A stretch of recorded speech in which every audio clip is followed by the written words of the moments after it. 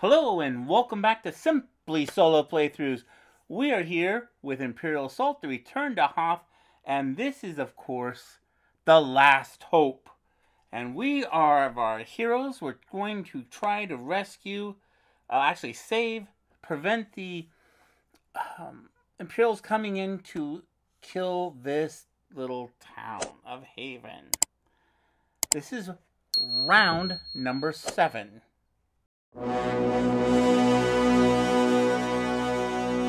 So, here we go. Bennix holds her position and fires the turret. Choose an Imperial figure within four spaces of the highlighted spaces and roll one red die. That figure suffers damage equal to the result. So we have one, two, three, four. Right?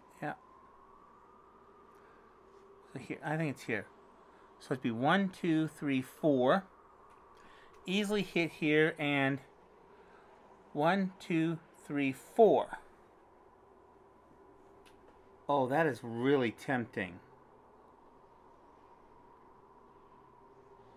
We would not be able to kill a probe droid. We have a shot, a one in six chance. Oh, no, two in six?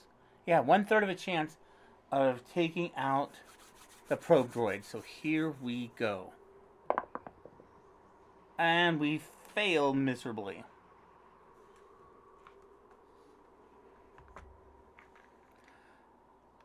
So that leaves 5 damage to the probe droid.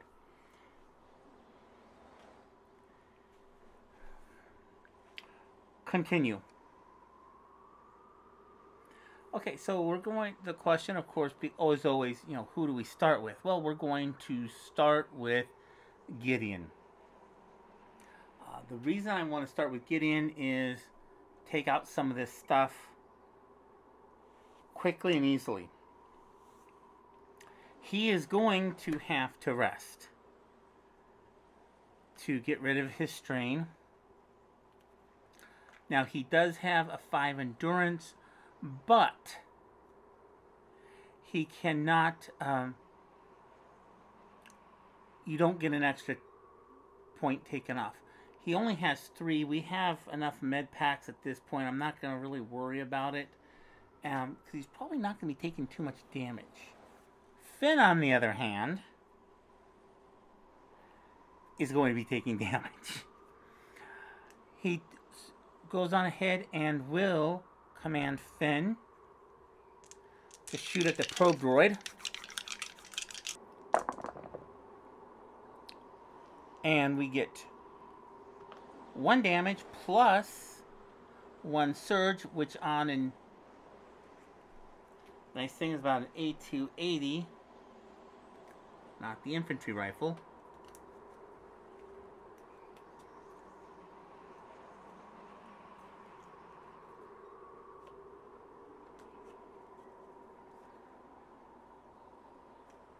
There we go. Our A280 has a plus two. So that is three points of damage and the probe droid is out. Good news. And probe droid, check. Plus five fame. Okay, he now gets another Oh, he took two strain. He now has a second one. We're going ahead and we will use Master Stroke. He'll go on ahead and again command Fenn. We're going to go after here. We're only one, two, three, four away really wish we could move one closer. I'd really like that. We'll again use the A280.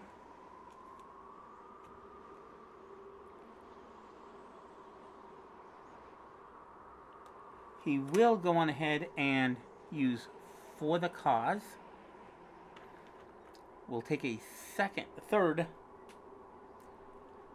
um, one, and we will ultimately use mobile tactician to move him ahead by three. uh, two spaces. He'll be able to move two spaces.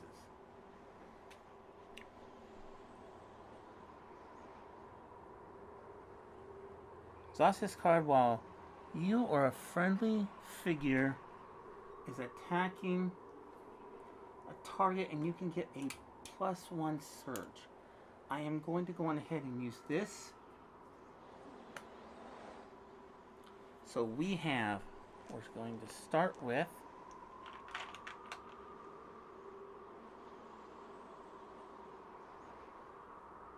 a surge. We become focused. So we're going to go on ahead and attack the ATST. Here we go. We easily have distance, accuracy. However, so this will be a plus 2. So that's out. This will be a plus Let's see what we have.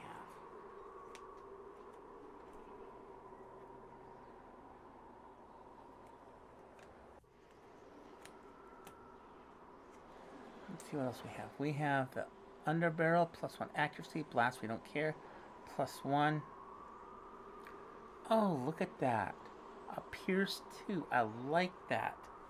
So, we're going to do, so that's out. So we're going to do one, two, three, four, five damage. That's our pierce. So we do five damage right off the bat to the ATST. Good job. That was a great movement. He'll go, go on ahead and use Mobile Tactician, and he will move two spaces.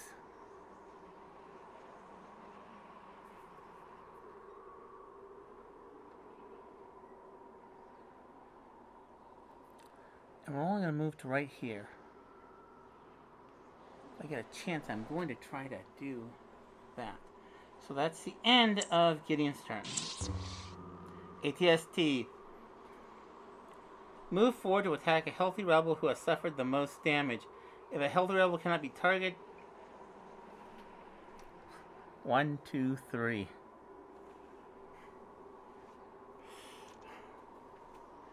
And what do we have? Blue, red, red. Okay, we do have Oh, he has, uh, by the way, he has the laminate armor, which does give him three, and I probably should have used it and exhausted earlier. Here we go. Oh, look at that. Only does three. So we are going to exhaust this card. Okay, so we have plus 3 health. We're only going to take 2 damage. That's the good news. Excellent, excellent, excellent. Move 8 to reposition 3 in the closest barricade. One, two, three, four, five, six, seven. So that's eight. Okay, these are the damage for this barricade. And that in, oh, grenade launcher.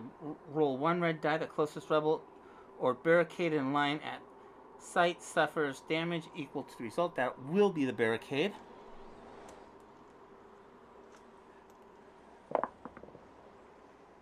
Barricade suffers one And that ends his turn. And Gideon did take one damage. Okay, finish.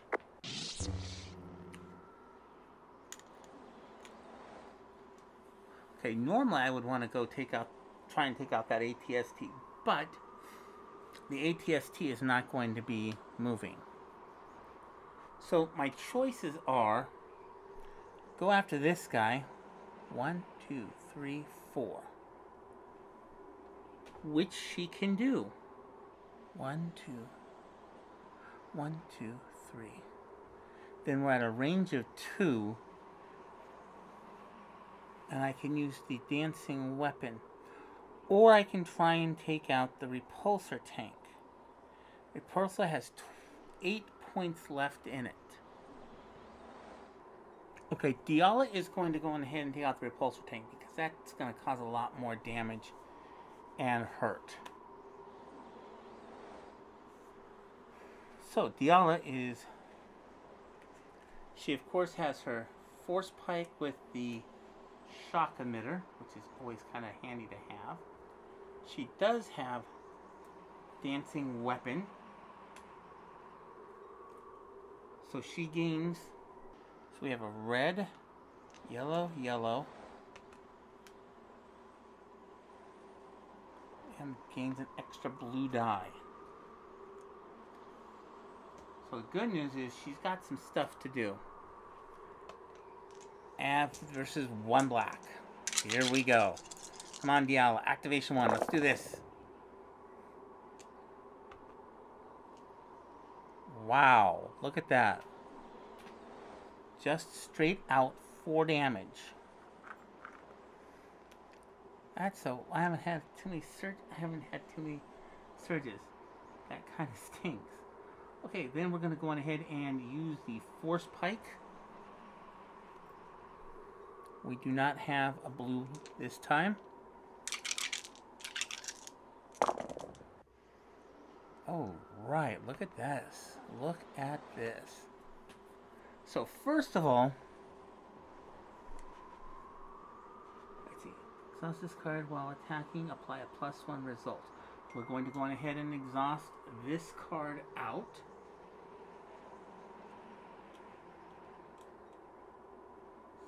About the movement there. We're going to go on ahead and exhaust this card out. So we get a plus one damage.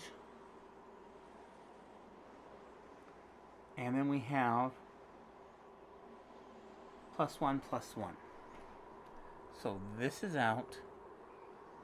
And we get a plus one, plus one, so we get plus two, so a total of five damage. And that, my friends, is enough to take out the repulsor tank. Excellent, excellent job. That is gone. Nice to see that out. A damaged tank catches fire and as a burning wreck crashes into the snow. Sorin's implement of domination is left to smolder in the fields of Haven. Continue.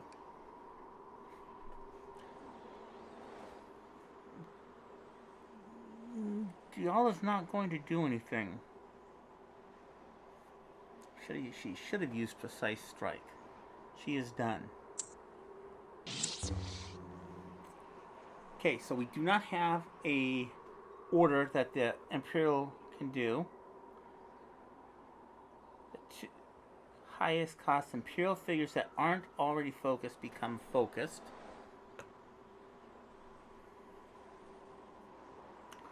Okay, we can't order. Move three to the closest barricade.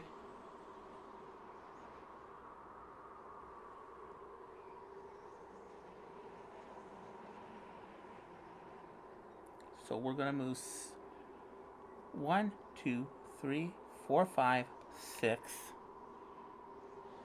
and three more. One, two, three. And he will attack the barricade. So we have a blue yellow. We have a automatic 2.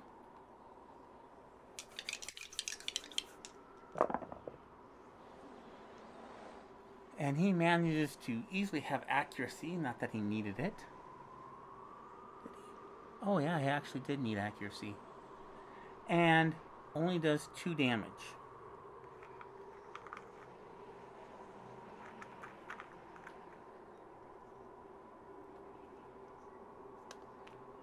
So that's 12 total. They have 15. Excellent. And that ends his turn. Varna is going to open this interact, gain a med pack, and artificial stimulants. Oh, nice. So she can... Four. So this has four that she can use. This is nice.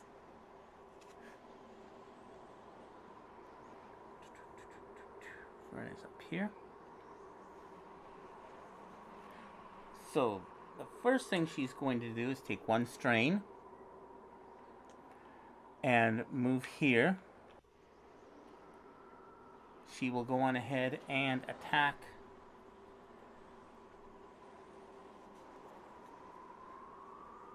Okay, when you use adjacent figure, you may replace one red dice. So she's going to uh, attack with a yellow and a red.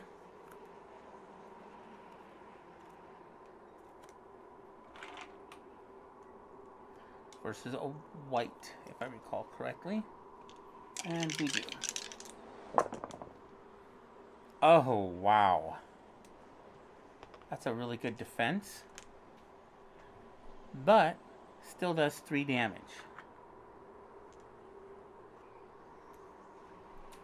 To our Imperial officer.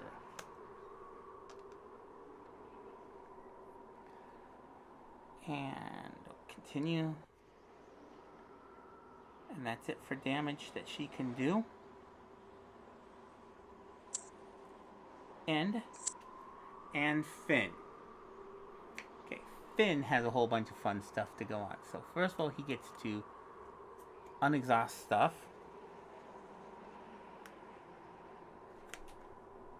He'll have his 280, his underbarrel,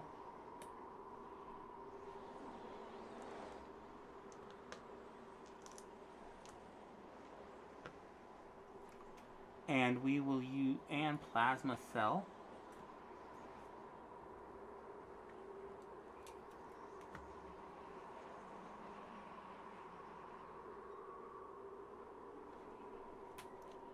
And we will start with tactical movement.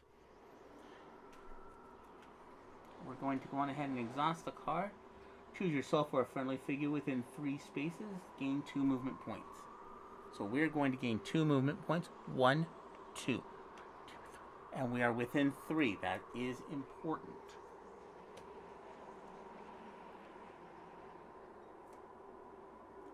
Exhaust this card when you declare an attack target trench fighter within three spaces, that's why it was important to move, we'll gain a plus two to the attack.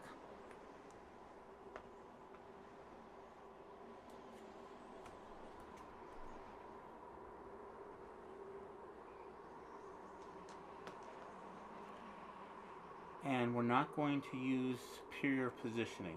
We don't need to use that. Nope. Okay, we're done. So we're going to go on ahead and... Yes, we are going to use superior positioning. Why? So we're going to take one strain, use superior position. We're going to be able to move one, two. That's all we're going to do. And we also become focused. So here we go. This will be fun, I hope. Can we take out this guy?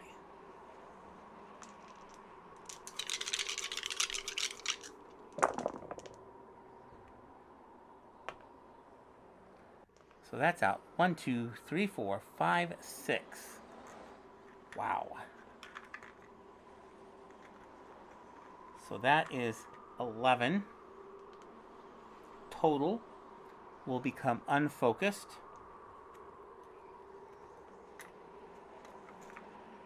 And we will we lose that and we will attack again for our second acti activation.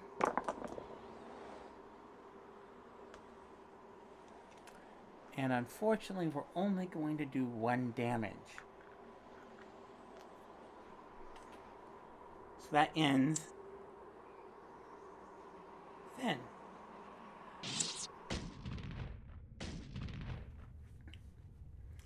A familiar scarred face emerges from the shadows of the outpost, crashing the Star Destroyer? Quite. The spectacle, Dengar smirks and claps his hands. Unfortunately now, I've got a lot of credits riding on your heads, the hunter muses, his smile giving way to a cold demeanor of professional hunter. What do you say we do this the easy way and you just lay down your weapons?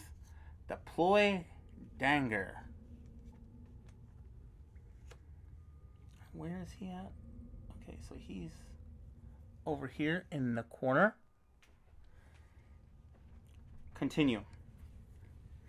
You know that Dengar owes no allegiance to anyone, especially the Empire, and you hope that you, hope to use that to your advantage. We're going to try to reason with him. Test insight. So we're going to test a green, a yellow, and a blue. And I've got two characters that can do that. A green, a yellow, and a blue. Oh, oh no. Confirm. You ramble on a moment before Dengar cuts you off. Yes, and if you rebels win, you'll try to stamp me out, he points out, probably correctly. Honestly, the longer this war lasts, the better. Continue. More Imperials pour into the snow. Of course. Anyone surprised? Because I certainly am not.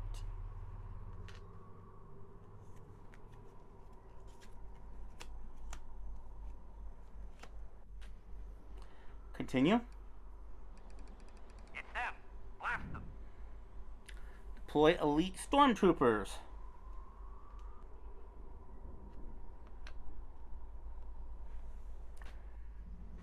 Boy, that'd be really nice to use a Havoc shot. Continue. More Imperials fled from the outpost. Continue.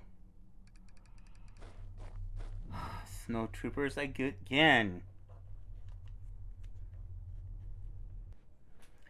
Continue. Round 8. Well, this is going to end our current round. I hope you have enjoyed this. Please make sure that you like and subscribe and come back again and we'll see you next time and have an absolutely great day. Please like and subscribe.